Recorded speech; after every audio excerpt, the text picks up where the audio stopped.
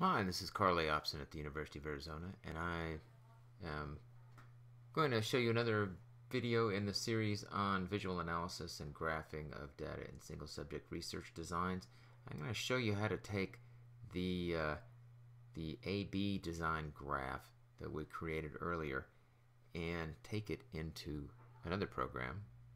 In this case, it will be Microsoft Word to kind of finish it up, make it a little neater, and uh, make it so that it's easy to read and analyze. So here we have our graph. We are going to click on it and select it. We are going to right click and copy it. We're going to open up a Word document. This is for another video. We'll close that up for now. And let's open a new blank document. One of the first things we want to do when we copy over a graph to Word, I like to do this, is put in at least one line of space above so that I have some room to move around and work. You'll see why that's necessary in a minute. Then let's just paste our Amy graph. And there it is, Amy's behavior. Comes in nice and clean. Um, you can in Word 11 in both Mac and Windows versions you have pretty much access to all of the charting elements that you have back in Excel just about. So if there's anything you've forgotten to do you can fix that up again here. But a couple of the things that we need to do here um, we don't really need to resize the graph. We may want to move this sessions want to center that a little better. We can do that. Um, we want to add phase lines and phase titles. So here it's an AB. We need to have a line right here. And we don't want the line, well, I guess in this case we might want the line in the graph. So we're going to going to click the graph. We are going to get a shape, get a line. And we're going to put that line right here between the 3 and the 4. Nice straight line.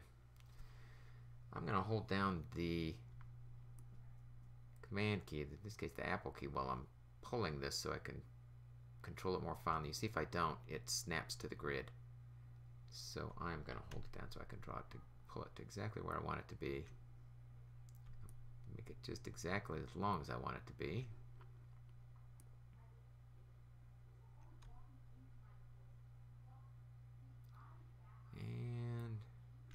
About right there.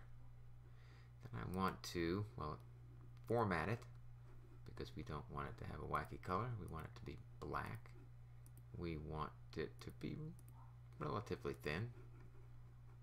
All right. And then we want to put in our titles for our phases. So we want to do the same thing. We're going to come here, we're going to click, and we are going to put in some text boxes right in the chart area. And we're going to say, uh, we could say it's A or B, but we'll say this is baseline. Move it up a little bit and out of the way. We could move the title for Amy's behavior up a little bit too. So we've got this is baseline. And then you can create another text box over here it says intervention. I am just gonna actually do a command option shift and copy one and drag it straight over. And then type word intervention. So we need to make that a little wider so it whole word fits. Now the last thing we need to do is um, we already have a student label because this is her graph, we need to hide this vertical axis minus 10. It looks kind of weird there. So what we're going to do is we're going to take a rectangular shape and we are going to draw a shape right over it. We're going to format that shape so that it appears to be invisible by making it the line white and the fill white and getting rid of the shadow, which we do right here. And you wouldn't even know it was there. So what did we do to finish off our graph? We copied it. We copied the whole chart area. We added some headspace in Word first. Then we pasted it and resized it as necessary to fit our sheet of paper in Word and our document. Um, we added the phase line. We added labels. We didn't add our data. Oh, we missed our data labels and arrows. We didn't add those yet. So instead of a an actual um, legend, we often, and I think it's one of the more clear ways to do this, in uh, single subject research design graphs, we label and point to the data points uh, to let readers know what they are. So if I remember correctly, what is this? This is um, self-injurious behavior, or we could say target or replacement. How about that? So we're going to put a couple more text boxes. I'm going to say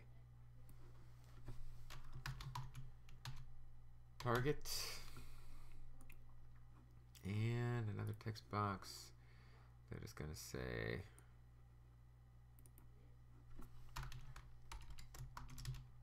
replacement. Let's draw that out a little wider so it fits. Then we're going to grab a couple of uh, couple of lines that are arrows really quickly. Let's say yes, this. Whoops.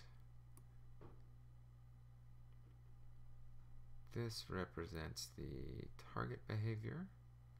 And I'm going to go ahead and format that shape so that it is got no shadow, but the line is black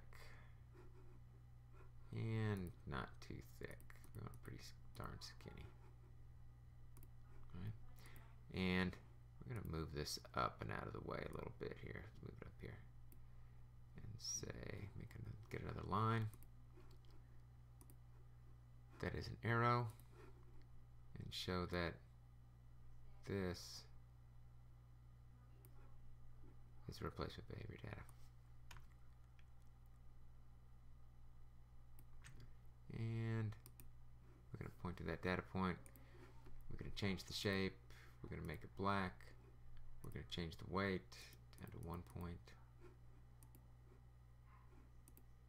There. I'm glad I went back through our list. So now we have added the dabble data labels and arrows. We don't need to do the student label. It's already labeled for Amy. And we've hid the lower vertical axis.